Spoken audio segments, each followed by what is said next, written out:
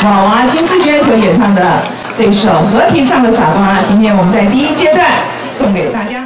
我们有可以从事公益演出，所以我们就把我们的民歌跟公益结合在一起。大家，那我们每个月呢，每个礼拜呢，都会在团长家固定做我们的团练哦，都会做练习哦。我们都会有练习，然后再呈现给大家很好的演出。那目前呢，我们每个月都有四场的演出，在中部的地区，那分别是在台中车站、彰化的西湖糖厂。还有田尾公路花园，还有草屯的公益文化园区，我们目前有四个地方做我们的公益演出。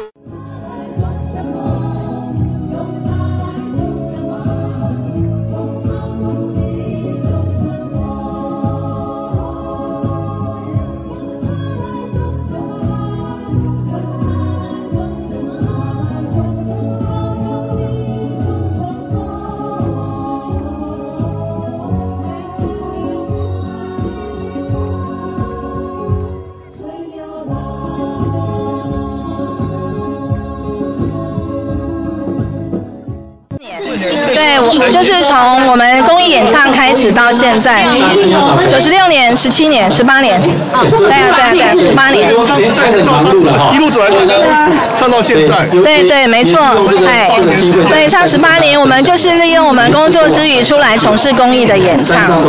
哎，在演唱唱十八年，对您来讲有什么感受呢？呃，我们觉得很开心，有这样的机会，可以用这种就是民歌的一方式来回馈社会。领大家来回味学生时代最美丽的时光，然后一起来呃做公益，然后也唱民歌。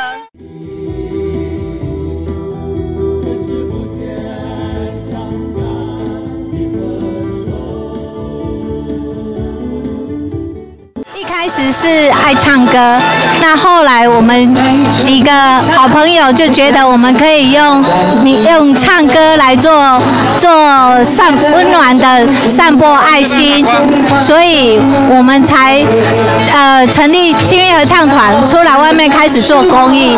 所以从九十六年我们就开始一起做公益到现在，那散播散播我们的歌声，散播爱，然后帮助弱势团体，这就是我们的宗旨。谢谢。